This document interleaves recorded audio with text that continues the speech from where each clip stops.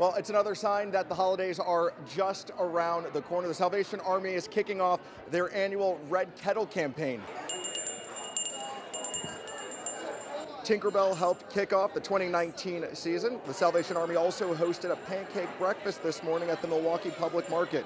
From now until Christmas Eve, you'll be able to make donations to help needy families in our area.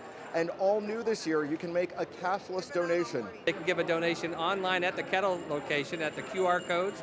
Or there's a smart chip that's inside there too with Google Pay and Apple Pay.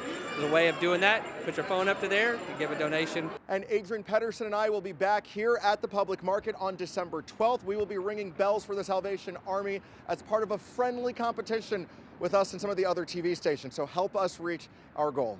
Reporting at the public market, I'm Sheldon Dutes, WISN 12 News.